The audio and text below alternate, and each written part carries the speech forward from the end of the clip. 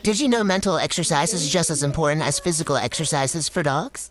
This is especially important for high energy breeds.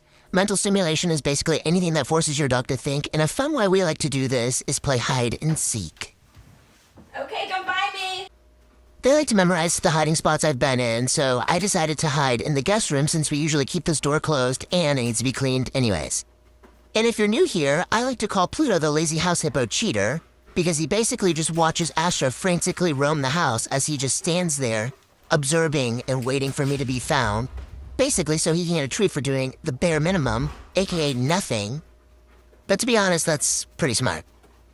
I will say that when Pluto uses his nose, it seems to work a lot better than Astro's. But today, honey, we are working that nose because I need him to take a nap so I can finish my work. And imagine this all day, every day, unless you tire this dog out. I could throw the frisbee a million times, but if I don't mentally stimulate him, he's not tired. And look at these dogs just breaking the fourth wall. Anyways, it took him a little longer than I thought, but, uh, he finally used that nose and found me.